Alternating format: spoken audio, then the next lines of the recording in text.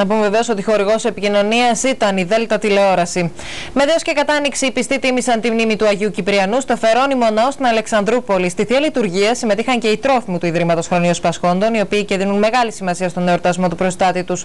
Στο Ίδρυμα, το οποίο και αποτελεί πρότυπο φροντίδας, φιλοξενούνται σήμερα 130 περίπου τρόφιμοι, ενώ απασχολούνται συνολικά 75 οικογένειες. Γιορτή του Αγίου Κυπριανού και στην Αλεξανδρούπολη, εκδηλώσεις τιμής για το θαυματουργό Άγιο επικεντρώθηκαν στο γραφικό ιερό ναό που βρίσκεται σε ένα ύψωμα μεταξύ Αλεξανδρούπολης και Μάκρης. Ένας ναός κόσμημα για την περιοχή, όπως κόσμημα είναι και οι υπηρεσίες που παρέχει το Ίδρυμα Χρονίων Πασχόντων της Μητρόπολης που φέρει το όνομά του. Κατά τη διάρκεια της πανηγυρικής θεία λειτουργίας, πλήθος πιστών άκουσε το Μητροπολίτη Αλεξανδρουπόλεο άνθιμος στο κήρυγμά του να ζητά από τους νέους να μην ξεχνούν ότι το γύρας κάποια στιγμή θα επέλθει, δίνοντας ένα μάθημα ζωής. Αυτά τα χρόνια βλέπουμε ότι στη ζωή μας δεν είναι πάντοτε εύκολα χρόνια.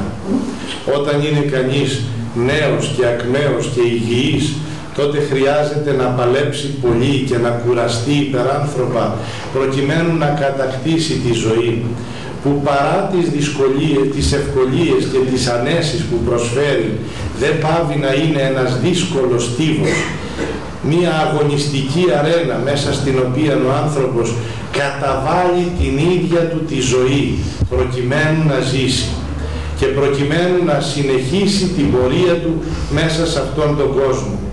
Και ενώ όλοι θέλουμε να ζήσουμε χρόνια πολλά, δεν θέλουμε να μεγαλώσουμε, δεν θέλουμε να γεράσουμε και βέβαια δεν μπορεί να γίνει αλλιώς ο Θεός προσφέρει τα πολλά χρόνια προκειμένου όταν φτάσουμε σε μια όριμη ηλικία, σε μια ηλικία που ο άνθρωπος κοντεύει στο τέλος να εκτιμήσει ο άνθρωπος τη ζωή καλύτερα και να δει και να απολογιστεί τα όσα συνέβησαν στη ζωή του και να τα εκτιμήσει με μια άλλη ματιά Τιμάμε τον Άγιο Κυπριανό και την Αγία Μάρτυρα Ιουστίνη κάθε χρόνο σε αυτό το εκκλησάκι, το μοναδικό που έχουμε στην επαρχία μας και είναι αφιερωμένο στη χάρη τους.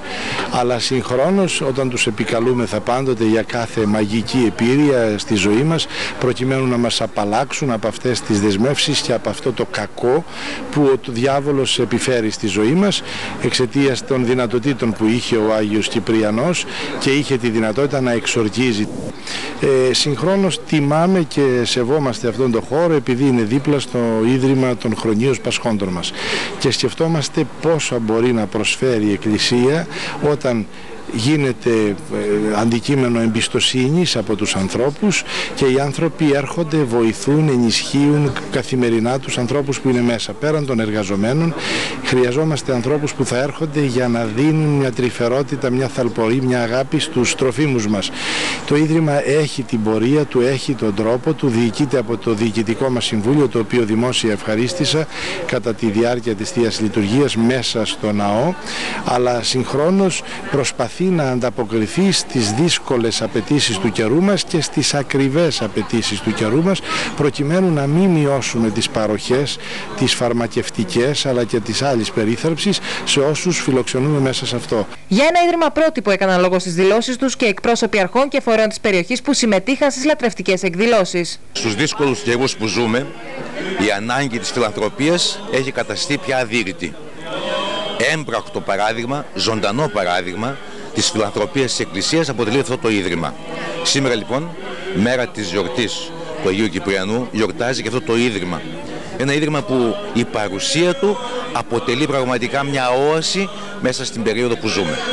Αξίζουν θερμά συγχαρητήρια τόσο στο σεβασμιότατο όσο και σε όλο το προσωπικό που ασχολείται με δίνοντας ψυχή σε αυτούς τους ανθρώπους που έχουν την ανάγκη μας σε αυτή την κρίσιμη ηλικία και εύχομαι σε όλους να είναι γεροί, να είναι δυνατοί, να αντιμετωπίζουν τόσο τις πρόσθετες δυσκολίες όσο και αυτές που όλοι αντιμετωπίζουμε. Είναι ευκαιρία να θυμηθούμε ότι στην περιοχή μας, στο 1 το χιλιόμετρο Αλεξανδρούπολης Μάκρης, λειτουργεί το Σταυρίδιο Ίδρυμα του Αγίου Κυπριανού, έτσι λέγεται.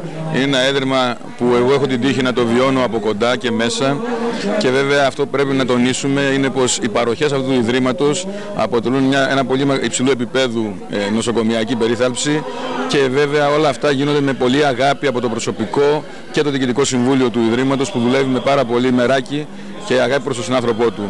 Είναι ένα κομμάτι της κοινωνικής παροχής που κάνει η Εκκλησία αλλά και γενικά η κοινωνία μας και όλοι μας θα πρέπει να το τιμάμε και να θέλουμε να προσφέρουμε σε αυτό. Αξίζει να σημειωθεί ότι σήμερα στο Ίδρυμα φιλοξενούνται 130 άτομα ενώ εργάζονται 75. Υπενθυμίζω ότι ο τρόπος για τον οποίο, με τον οποίο μπορεί κανείς να μπει μέσα σε αυτό είναι κάνοντας μία αίτηση, έχουμε μία λίστα αναμονής γύρω στα 70 άτομα και καταβάλλοντας μόνο τη σύνταξή του. Το λέω αυτό γιατί κατά καιρούς ακούμε με στενοχώρια κάποιους να λένε ανακρίβειες που όμως συγχρόνως είναι και αμαρτίες όταν δεν έχουν καμία σχέση με την αλήθεια. Μόνο τη σύνταξη των ανθρώπων και αυτή κάποτε ενισχύει και τους συγγενείς όταν δεν μπορούν να την καταβάλουν και ολόκληρη όταν είναι η σύζυγος εκτός. Εύχομαι σε όλους πάντοτε υγεία και δύναμη αλλά συγχρόνως να εκτιμούμε αυτά τα έργα της Εκκλησίας και να μην πετάμε εύκολα πέτρες σε μια Εκκλησία η οποία δια των Ιδρυμάτων της κρατάει την πρόνοια στη χώρα μας. Και όταν κάποιοι εύκολα στις ημέρες μας λένε τι χρειάζεται η Εκκλησία, τι θέλει η Εκκλησία, τι περιουσία έχει η Εκκλησία, αυτή είναι η περιουσία μας. Είναι των ανθρώπων μας, προέρχεται από τους χριστιανούς μας και θα αποδίδεται μόνο σε αυτούς και σε κανέναν άλλον. Αμέσως μετά ο Μητροπόλητης Αλεξάνδρου Πόλεως, συνοδευόμενος από εκπροσώπους αρχών και φορέων, ξεναγήθηκε στους χώρους. Πόσο, σε πόσους ανθρώπους δίνουμε με λεβάιν από την νίκη Έχουμε 10 έχουμε κάτω, 3 στο δίπλα τμήμα 7, 13 και 2 επάνω 15. Αντιλαμβάνονται όχι; Όχι, κάποιοι δεν αντιλαμβάνονται καθόλου επάνω, Ταΐζουμε 90%. Μερικοί είναι, μερικοί είναι πολλά χρόνια στο πλευρά. Ταΐζουμε χωρίς να πέστε. Ναι, έχουμε 15 χρόνια έχουμε, κύριε Παπαδητή. 15 χρόνια αλλά θα σας ταΐσει τη νίκη. Το blender το φαγητό. Ένα εκεί Το ο φαγητό, φαγητό μας, το φαγητό το οποίο την διέτα την καθορίζει διαιτολόγος από το νοσοκομείο.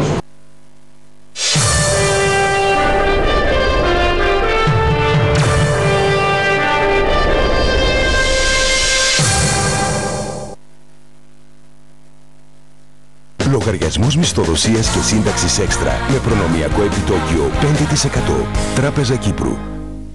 Έχετε ζεστή καρδιά. Ζεστό χαμόγελο. Αλλά αυτό δεν αρκεί για έναν ολόκληρο χειμώνα. Τζάκια Άγγελος. Θέρμανση μόνο με 4 ευρώ το 24ωρο. Νέες εναλλακτικές μορφές θέρμανσης. 100% οικολογικές, απόλυτα οικονομικές. Μέγιστη απόδοση σε όλες τις συνθήκες. Τζάκια Άγγελος. Λέβητες καύσης βιομάζας και καλαμποκιού. Θερμάστρες αερόθερμες και καλοριφέρ καύσης πέλετ καλαμποκιού. Ενεργειακά τζάκια, αερόθερμα, καλοριφέρ. Όλα σε μεγάλη ποικιλία σχεδίων. Τζάκια Άγγελος. Οικολογικές προτάσεις που καλύπτουν ακόμη και τις μεγαλύτερες απαιτήσεις. Φροντιστήρια προοπτική. Ήρθαμε κοντά στους μαθητές, στις ανάγκες και τους στόχους τους. Δημιουργήσαμε σωστές βάσεις και θεμέλια μιας άριστης προοπτικής για την επιτυχία. Μετατρέψαμε το άγχος και την ανασφάλεια σε δυναμική προσπάθεια και ενισχύσαμε κάθε πιθανότητα για εισαγωγή στις σχολές πρώτης προτίμησης. Φροντιστήρια προοπτική. Φιλικά, υπεύθυνα και αποτελεσματικά διατηρούμε μια επιτυχημένη παράδοση χρόνων που εξασφαλίζει ένα σίγουρο μέλλον με προοπτική. Φροντιστήρια προοπτική. Στο πλευρό μαθητών και γονέων από το γυμνάσιο. Για σίγουρη προοπτική στην επιτυχία.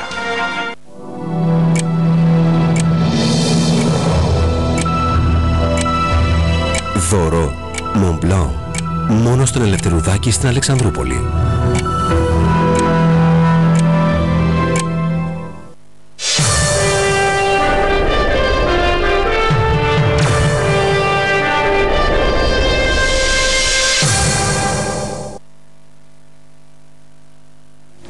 Πάμε τώρα σε ένα θέμα που έχει προκαλέσει την έντονη αντίδραση, ειδικά δε των ιδιοκτητών ακινήτων και όχι μόνο. Και μιλούμε βεβαίως στη φοροεπιδρομή που, έχουν ως στόχο, που έχει ως στόχο την ακίνητη περιουσία.